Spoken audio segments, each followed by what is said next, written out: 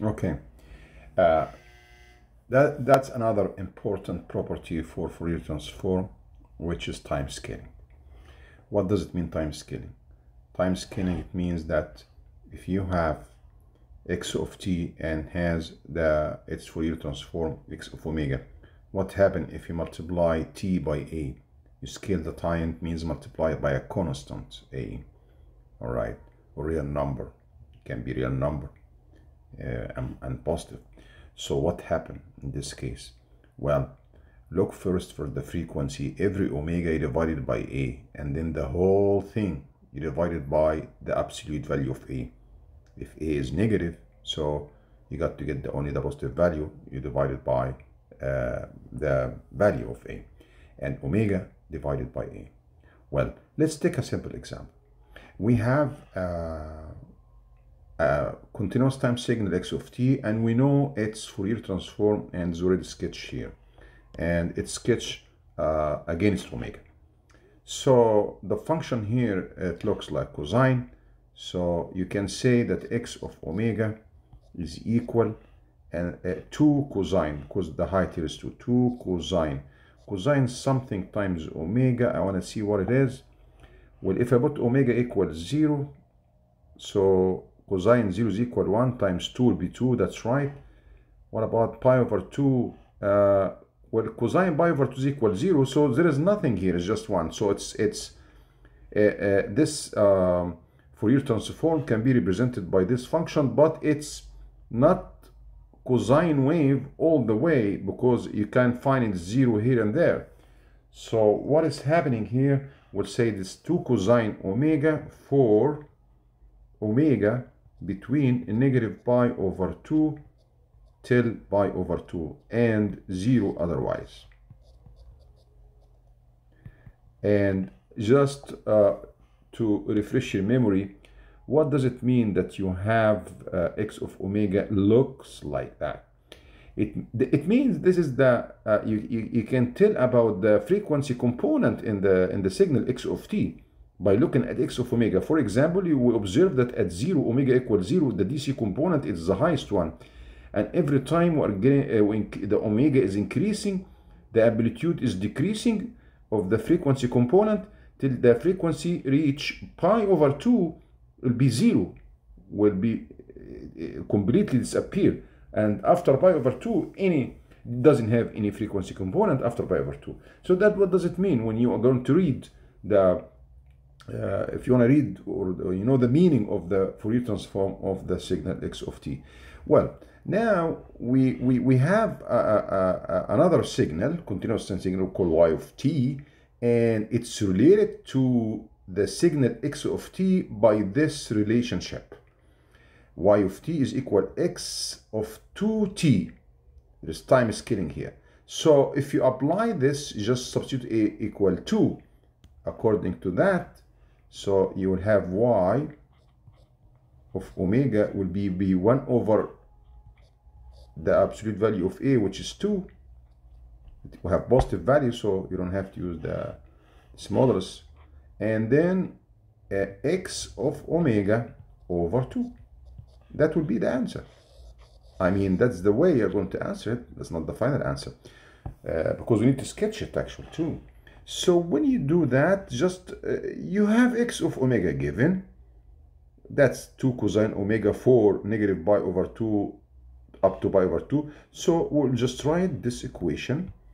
We'll say y of omega will be equal to, uh, well, you divide by 2, so you have 1 half, that's 1 half here, and times x of omega over 2, so cosine and then this omega will be divided by 2 or omega 2 and it will be between uh, now this omega also substitute by omega over 2 every omega just by omega over 2 from negative pi over 2 to positive pi over 2 and of course 0 for the rest. Let's just simplify.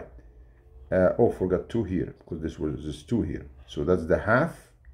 That's the half here in the formula and this is the all x of omega by 2 the x of omega uh, is equal to cosine omega will be 2 cosine omega over 2 and that's the interval from negative pi over 2 to pi over 2 but I replace omega by omega 2 now let's just uh, write so half and 2 will be 1 cosine omega over 2 and I need to know the range so I multiply right and left by 2 to get rid of the 2 here omega over 2 you want to get rid of it. So multiply by 2 let me just show it here.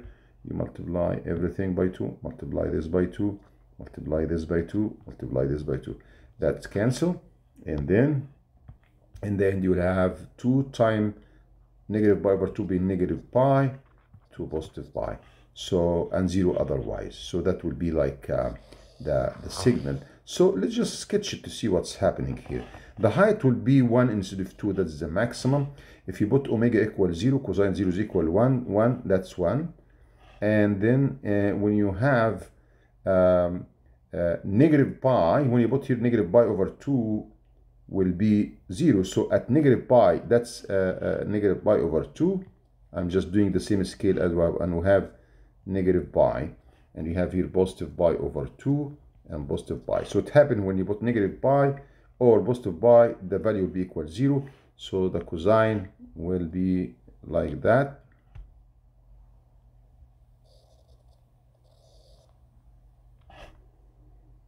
Something like that. So what do you observe now when you look at the uh, the the Fourier transform of the signal? What, what, compare between both uh, uh, frequency response first you'll you'll observe that the amplitude is half because the scaling was equal to so the amplitude decrease. That's number one.